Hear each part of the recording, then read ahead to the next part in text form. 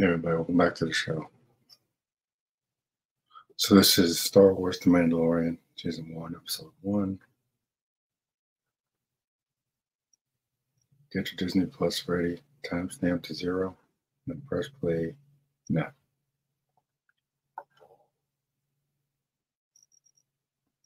So when this show was first announced, I don't remember if I was entirely on board with it. I was really crazy about the Disney Wars era. Coming off of uh, Disney Wars Awakens. Looking back on that film, that film was a complete joke. But uh, I think this show kind of surprised me with what it was going for. It was original, had original characters, new planets, new lore Unfortunately, I think by season two, we get a lot more cameos and stuff, which is fine, I guess, but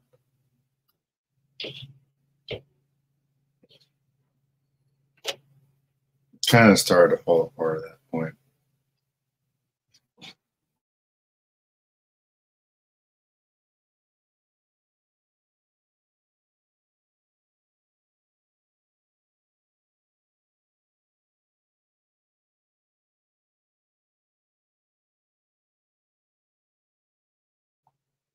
It was advertised as a Western in space.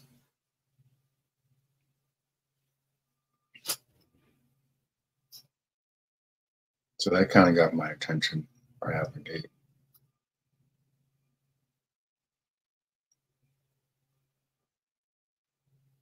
Of course, people try to compare to Boba Fett. I'm like, yeah, Fett always looked cool, but he was a shitty character doesn't do anything interesting.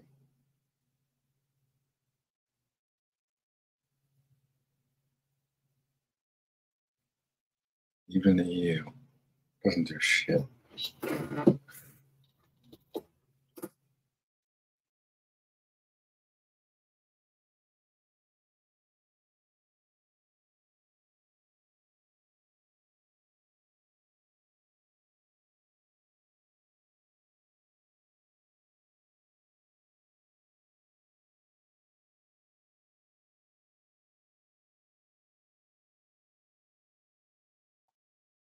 Like I never understood why I, why I killed these guys. Guess they want to show him being ruthless. This guy is got the bounty on. It's kind of annoying.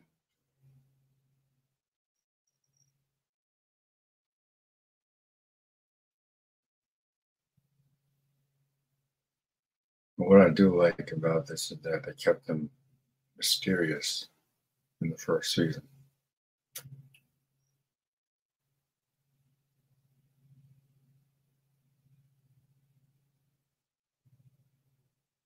That's what I'm talking about with like speaking English. I'm like,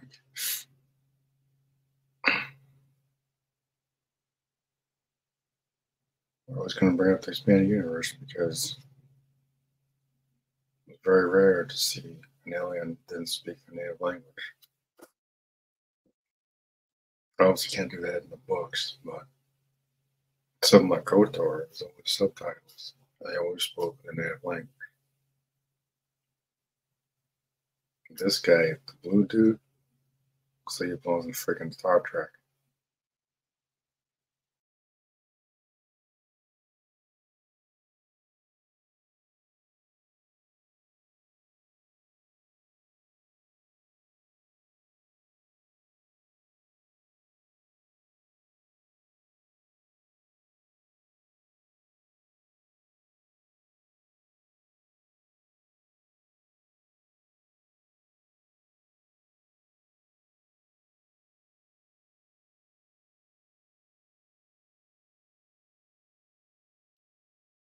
So I hear that season four of the show has been canceled in favor of some dumb movie.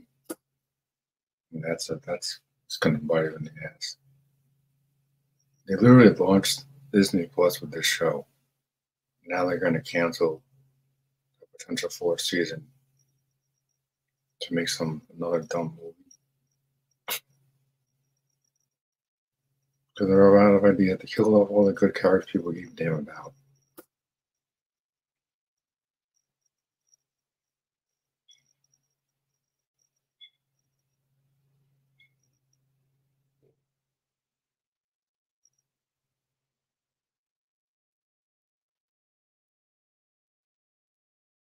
Now they got nothing left. It's like, but you can't take a character that was designed for television and just throw them on the big screen. I think it's going to work. It's never going to work.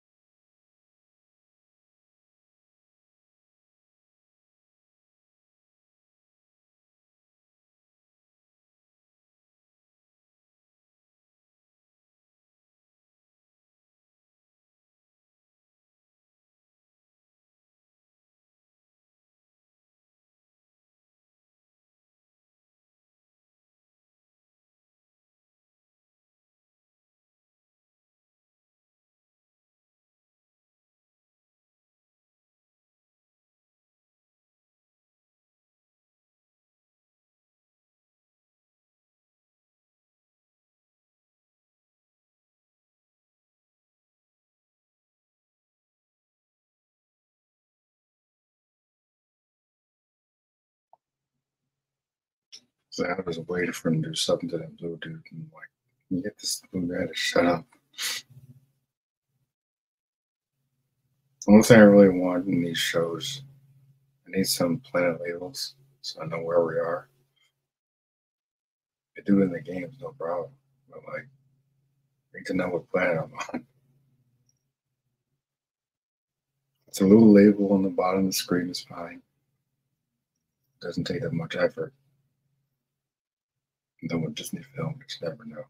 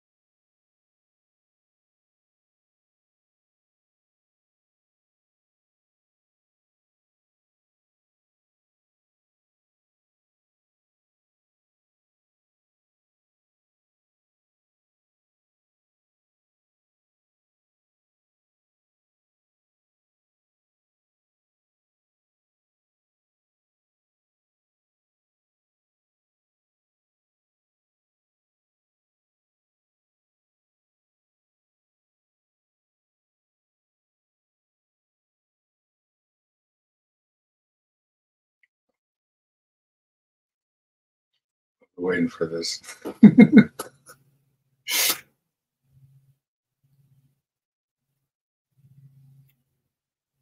Finally got him to shut up. Frozen carbonite.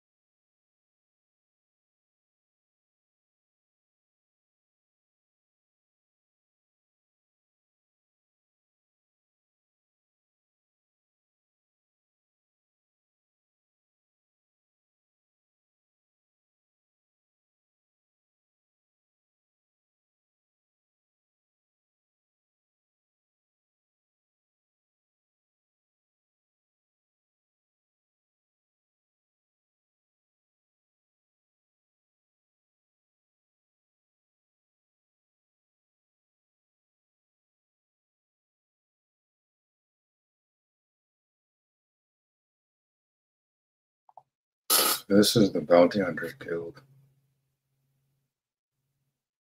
They got things like this all over the galaxy. So it's nice seeing this in live action in particular. Rest in peace, Carl Weathers. Thought he was an interesting character.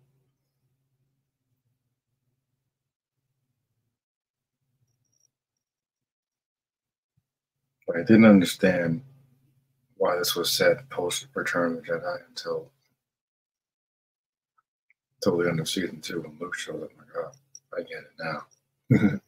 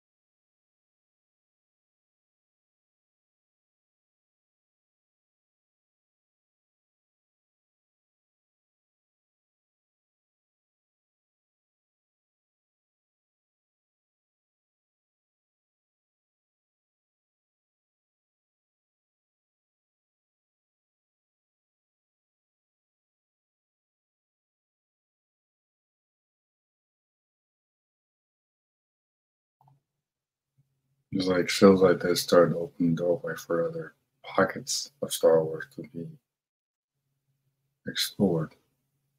Like to see him walk into this market here. Do something similar in uh, Star Wars Outlaws. People probably notice that they weren't crying about this and that. Like when you first meet Kay, she's on this planet. I don't remember what it's called, but you have to walk around on the planet and the market and whatnot and get to know the character. Who would have thought?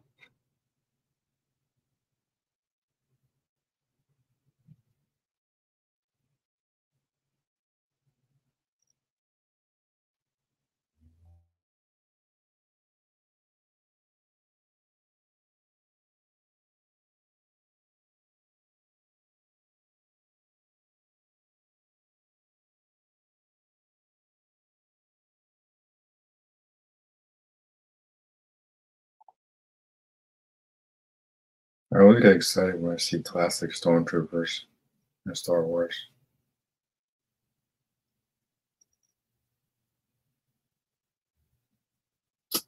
Especially if their armor is dirty and rusted. Reminds me of the uh, Imperial Remnant from uh, the Jedi the Jedi Knight games.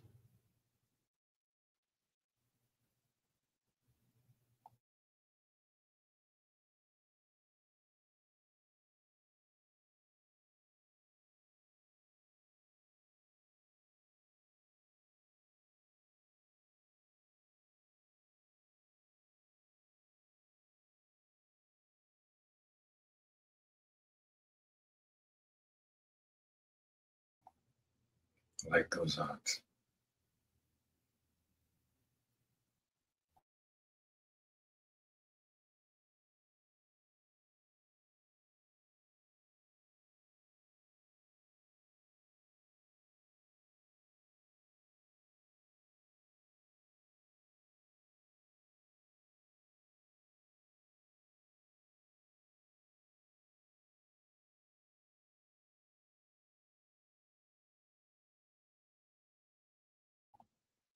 Like, granted, I haven't seen season three yet. Aside from that episode with that dopey doctor, I hadn't bothered watching anything else after that. What I understand, the season was kind of crappy. Doesn't mean they can't come back from that with another season. I'll tell you right now, a Mandalorian film ain't gonna work. We want to do that, it was like when the series is ending to wrap everything up. That could work, I guess. But let's say we're just making making a making a film and canceling the fourth season, which could do pretty well if the movie's good. That's a mistake. I know Pedro Pascal is busy with other projects like Mr. Fantastic, and uh, he ain't gonna last on long as Joel in part two, see Last of Us. So you got to worry about that. He ain't gonna make it past. If he's alive at the end of the first episode, I'll be impressed. But he ain't gonna last the whole season. I'll you that right now. he's he's doing the voice for his character, he's, I guarantee he's not in the suit at the time. So it's not like you have to track him down too often. I guess get a stunt double.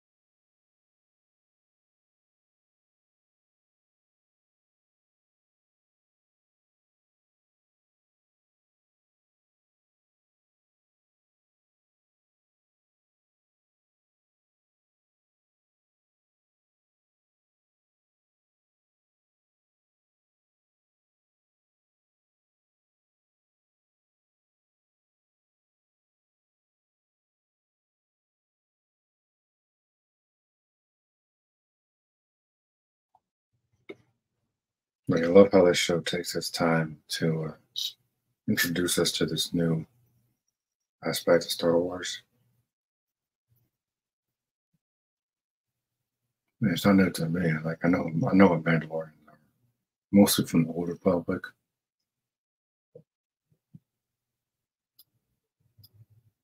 It's obviously a lot different now.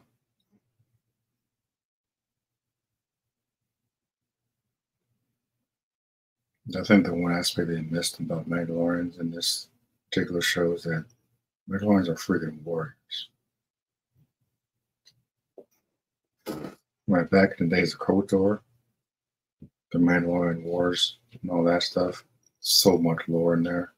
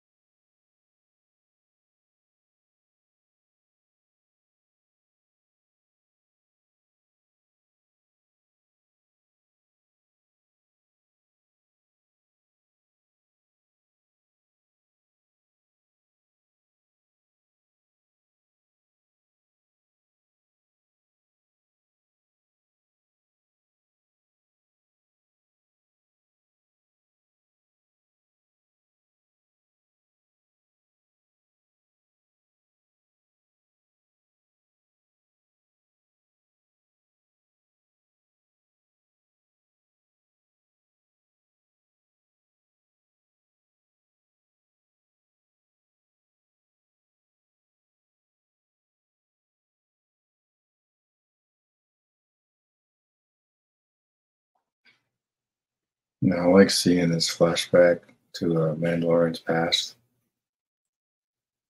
They don't give too much away. They just show enough that piques your interest. I don't think we'll see any more flashbacks after this season, though. And they just focus a little too much, I think, on the kid.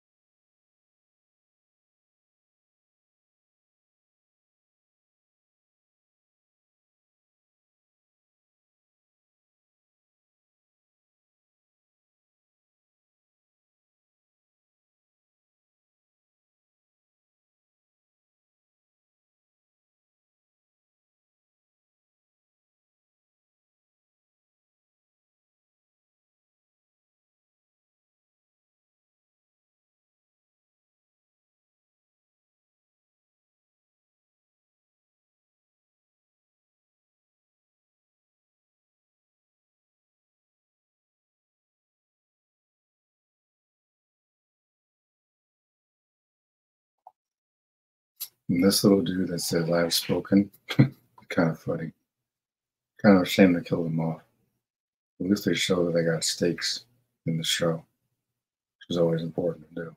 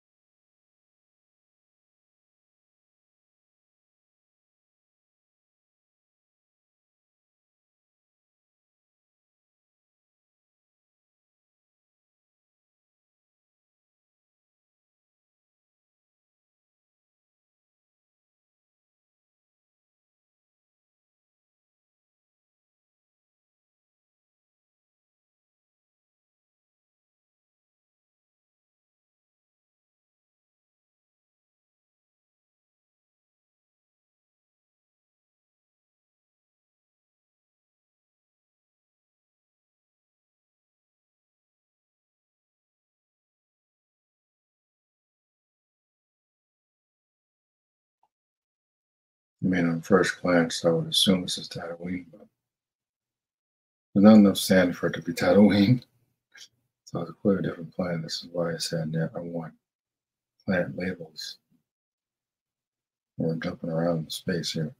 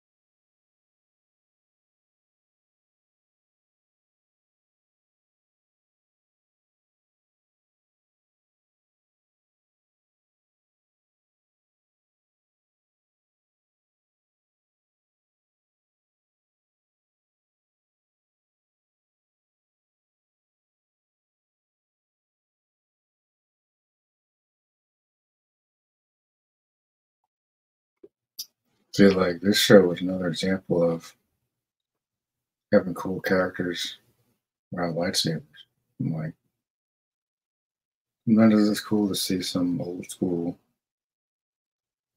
blaster shootouts without the force, without lightsabers.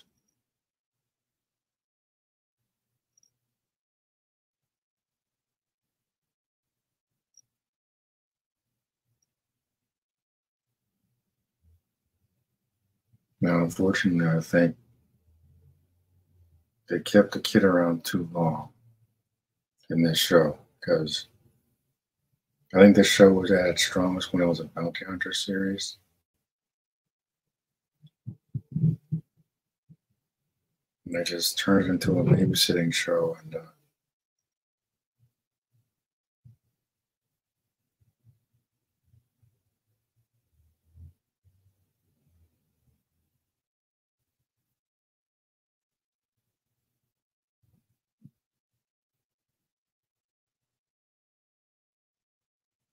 to me, it's not what Star Wars is.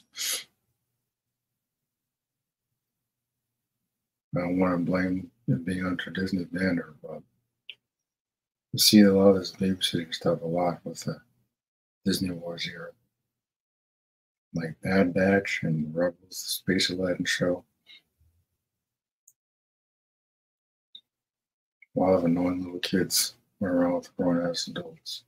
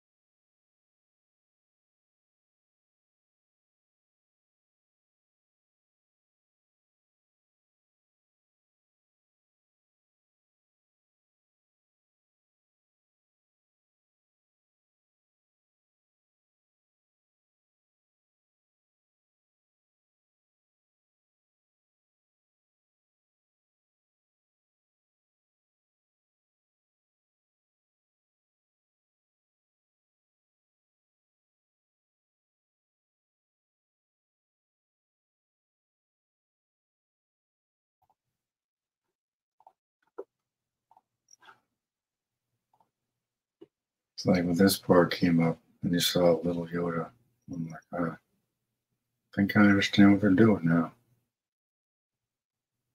I figured it seemed like we were going to get something unique, and uh, first season did not disappoint. I think after first season that started getting a little concerned.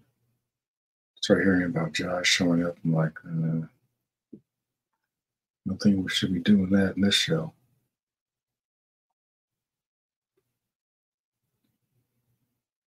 And uh, again, the confirmation of a movie about the Mandalorian, it's not going to work. It's not going to work. You can't take a television, like character specifically specifically created for television, and all on the big screen. It's never going to work. Unfortunately, they're going to fund out the hard way at the box office. Don't get, me, don't get me wrong, it's going to make money, but they can draw the numbers that they're expecting. I'll tell you right now.